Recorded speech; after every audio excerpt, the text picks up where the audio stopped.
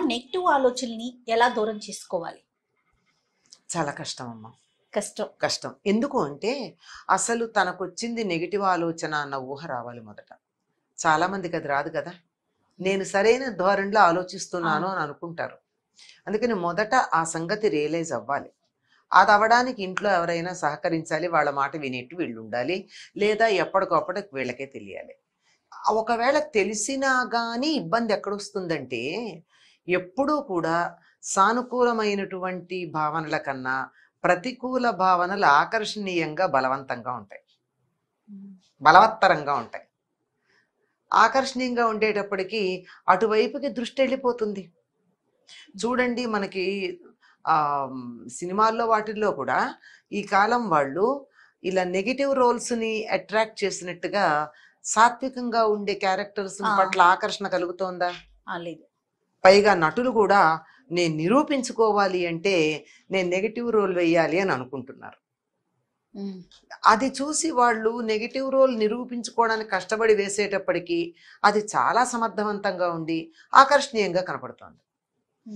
అలాగా ఎప్పుడు కూడా ఆ నెగిటివిటీ అన్నది కొంచెం ఆకర్షణ ఎక్కువ బలం ఎక్కువ దానికి అది మన మీద ప్రభావం చూపించకుండా ఉండాలి అంటే మనం చాలా ప్రయత్నం చేయాలి. మొట్టమొదట నెగిటివ్ ఆలోచనలు అనేవి ఏమిటో తెలుసుకోవాల్సిన అవసరం ఉంది. నాకు ఎవరి మీద నా కోపం వచ్చింది అనుకోండి కోపం రావడం సహజమే కదా? వాళ్ళు తప్పు చేశారు కదా? తప్పు చేసినందువల్ల వచ్చింది కదా? అని నన్ను నేను సమర్థించుకునే ప్రయత్నం చేస్తాను తప్ప వాళ్ళు తప్పు చేశారు బాగానే ఉంది. అందులో అనుమానం ఏం లేదు. నిరూపించబడింది కూడా వాళ్ళు తప్పు చేశారనే. నువ్వెందుకు చేస్తున్నావు? ఆ.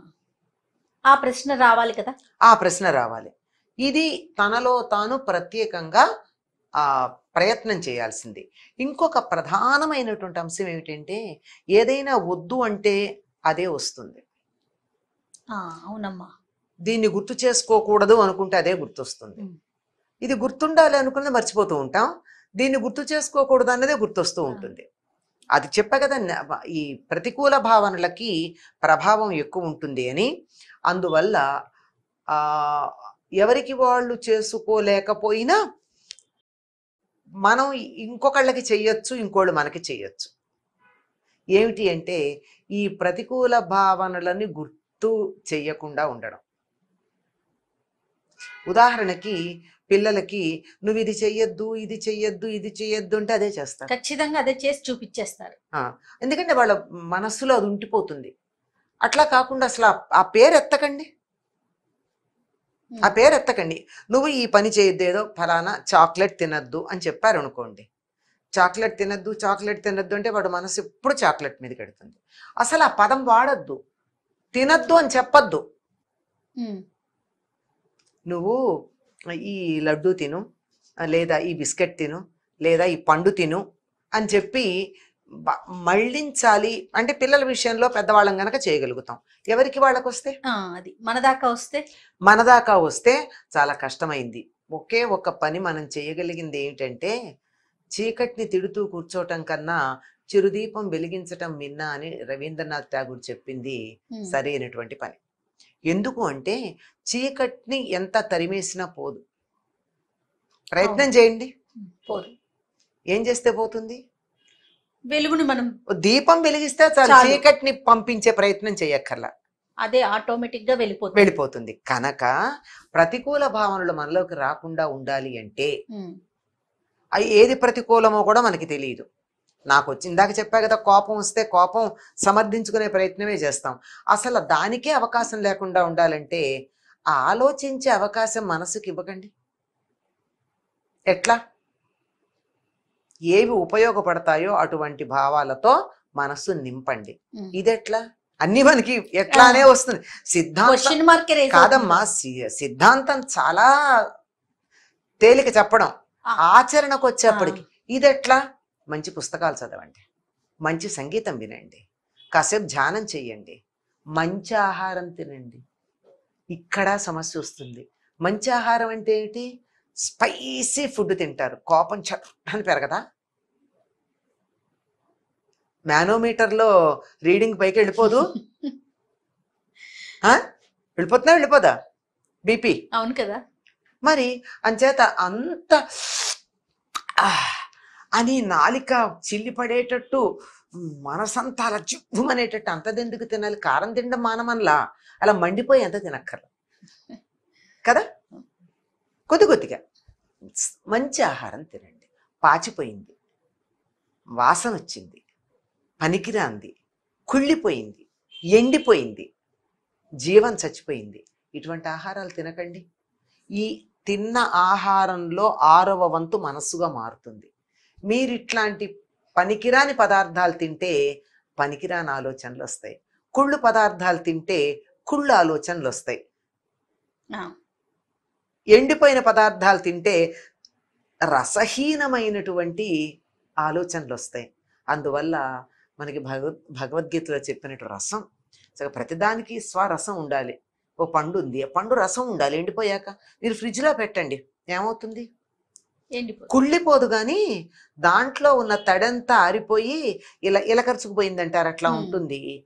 ఆ బాగానే ఉంటుందేమో తినడానికి. కానీ ఫుడ్ వాల్యూ ఏముంది? పొట్ట నింపుతుందే కానీ మనసు నింపదు అది అవును. కనుక అటువంటి పదార్థాలు తినకండి. ఇది మొదటిది ఆహారం. విహారం. మంచి భావాలు ఉన్న వాళ్ళతో కలిసి ఉండండి. ఎంతసేపు తన్ను నరుకు పొడు చీల్చుతా కాలుస్తా. ఇలాంటి మాటలే కదా మనం తరచుగా వింటున్నాం. ఇవి చాలా క్యాచీ వర్డ్స్గా ఉంటున్నాయి మనకి. సినిమాల్లో కూడా ట్యాగ్ లైన్ వర్డ్స్ లాగా కనిపించే. ఉంటున్నాయి. ఊత పదాలు అంటారు. ఇవన్నీ అలవాటైపోయినటువంటి వాళ్ళు ఈ పదాలు అని అని దాంట్లో ఉన్న భావం ఇంతో అంతో మనసుకు రాదా?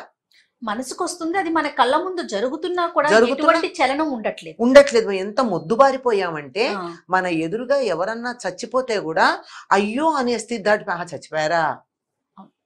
అనే స్థితికి వచ్చాం. ఆ ఆ సున్నితత్వం పోయి మొరటు అయిపోయాం.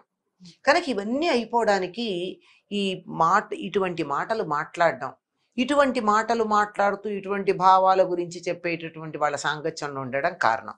ఒకటి ఆహారం అయితే రెండు రెండోది. మన విహారం. మనం ఎవరితో ఉంటున్నామో వాళ్ళు ఎటువంటి వాళ్ళో వాళ్ళని బట్టి. మనకు ఆంగ్లంలో సామెత ఉంది కదా నీ ఫ్రెండ్స్ ఎవరో చెప్పు నీ సంగతి నేను చెప్తానని. ఎవరి దగ్గర మనం హాయిగా ఉంటున్నామో తెలిస్తే మన భావాలు దానికి అనుగుణంగా ఉంటాయన్న సంగతి అయితే స్పష్టమైపోతుంది కదా. కనుక మంచి ఆలోచనలు చెప్పేటటువంటి వాళ్ళు పది మందికి మేలు చేసే ఆలోచనలు కలిగినటువంటి వాళ్ళు వాళ్ళ సాంగత్యంలో ఉంటూ ఉంటే ఈ మనం వీటిని తరమక్కర్లా. ఈ చెడు ఆలోచన పో చెడు ఆలోచన పో చెడు ఆలోచన పో అనక అనక్కర్లా. అసలు చెడు ఆలోచన వచ్చి కూర్చోవడానికి చోటివ్వద్దు మంచి ఆలోచనతో నింపండి. Idle man's brain is devil's workshop అంతే don't keep your brain idle దాన్ని ఎంగేజ్ చేయి మంచి. మాటలతో మంచి. భావాలతో ఆ మంచి స్నేహాలతో మంచి పరిసరాలతో చక్కని మనకి ఏదో ఒక సినిమాలో అనుకుంటా చెప్తాడు వీడికి తీసుకెళ్ళి కాసిన పూలు అవి చూపించండి రా అంటాడు. అందులో గుర్తులేదు కానీ అంటే ఆ సున్నితత్వం రావడానికి పరిసరాలు ఎంత ప్రభావం చూపిస్తాయో చూడండి. ఆ పూలను చూడగానే మన మొహం వికసిస్తుందా వికసించదా? మొహం వికసించిందంటే మనసు వికసించినట్టే కదా. లోపల ఉన్నటువంటి ప్రతికూల భావనలు పోయినట్టే కదా. పసిపిల్లల ముఖాలు మంచి ప్రకృతి ఇవి గనక తరచుగా చూస్తూ ఉంటే మనసులో కొంతవరకు ఆ ప్రతికూల భావనలు పోతాయి. అందుకే మీరు మన దేశంలో అంతగా అలవాటు లేదు కానీ పాశ్చాత్య దేశాల్లో వాళ్ళని చూడండి ఇంటి గోడకి వాళ్ళు వాల్పేపర్ వేసుకుంటారు. సూర్యోదయం లాంటి దృశ్యాలు వాళ్ళకి అపురూపం కదా సూర్యోదయం. సూర్యోదయం పచ్చని చెట్లు పువ్వులు వేసుకుంటారు. ఖాళీగా ఉన్నప్పుడు ఆ గోడను చూసినా చాలు. ఆనందం కలుగుతుంది. చేత ఇవన్నీ ఇలా ఎన్నో అంశాలు ఉన్నాయి ప్రతికూల భావనలు పో పోతే బాగుండు అన్న సంకల్పం ఒకటి కలిగాక ఇది నాకు ప్రతికూల భావన పోవాలి అని ప్రయత్నం చెయ్యొద్దు. చేసిన కొద్దీ నిలబడిపోతుంది అది. గట్టిగా గట్టిగా పాతుకుపోతుంది.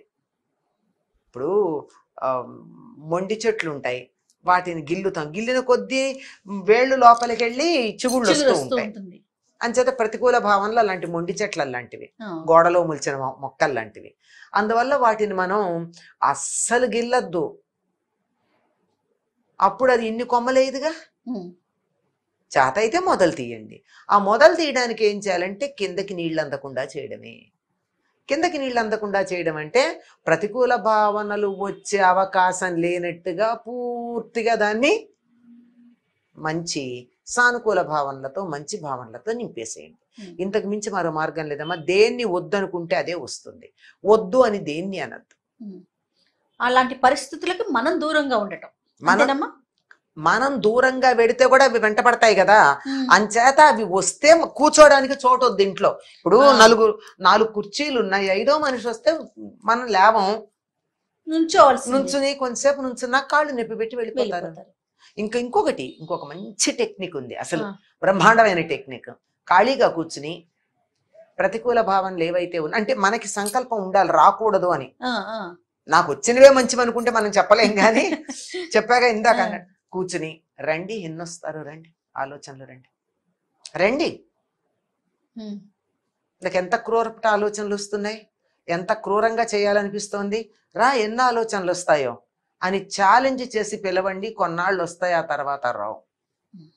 ఇది మనస్తత్వ శాస్త్రవేత్తలు కొంతమంది ప్రయోగం చేసి చెప్పారు.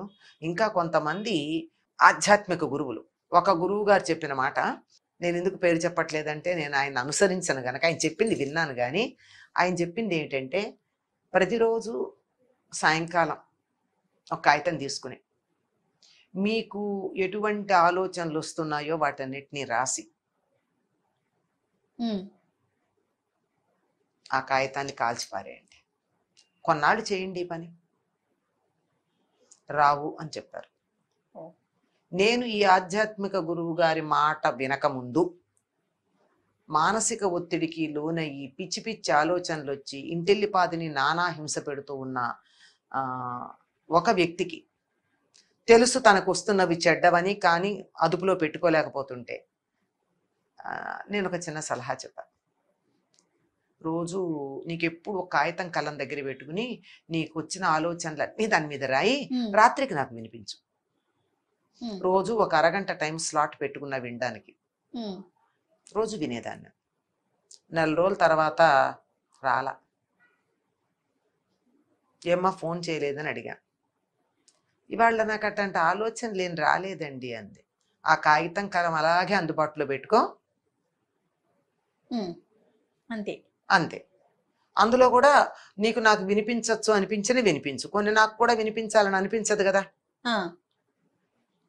అప్పుడు వస్తుంది కానీ తర్వాత చెప్పడానికి సిగ్గేస్తుంది కదా వినిపించక్కర్లా. నువ్వు రాసావు కదా చింపిపారి. ఒక నెల రోజులు ఎంతో దరిదాపుల్లో. చేసిన తర్వాత ఇవాళ ఏం రాలేదండి. నేను ఫోన్ చేయడం మొదలు పెట్టామంది అట్నుంచి నరుక్కురమ్మని. ఏమ్మా ఫోన్ చేయలేదు అని. "ఆ, ఈయన రాలేదండి. అలా ఒక కొన్ని కొన్ని రోజుల పాటు నేను రెగ్యులర్గా చేశాను. పోయినాయి అమ్మా ఇది అంటే నాకు ఎందుకంటే రైటింగ్ కెపాసిటీ ఉంది ఆ వ్యక్తికి. కొంచెం రచనలు చేసే గుణం ఉంది. అందుకని పత్రిక రాయడం గురించి కాదు ఇలా రాయి. ఈ తర్వాత ఈ నెగటివ్ ఆలోచనలన్నీ ఏవైతే ఉన్నాయో వాటిని ఇక్కడ రాసుకుంటావు కదా ఆ తర్వాత పత్రికకి రాయడానికి ఒక ఆర్టికల్ రాయి. ఇవి తగ్గాయి. అవి అవి పెరిగాయి. అంటే అది వ్యక్తికి వ్యక్తిని బట్టి ఉంటుంది. కనుక అందరికీ ఒకేలాగా ఒకేలా కాదు. వాళ్ళ ఇంట్రెస్ట్ వాళ్ళ పరిస్థితులు ఇవి అన్నింటికన్నా ప్రధానంగా ఉండాల్సింది నాకు వస్తున్న ఆలోచనలు నెగిటివ్ అవి రాకూడదన్న ఆలోచన. తెలియకపోయినా నాలో నెగిటివ్ ఆలోచనలు రాకూడదు అన్న ఆలోచన ఉన్నా చాలు. నేను దాన్ని సపోర్ట్ చేస్తున్నా.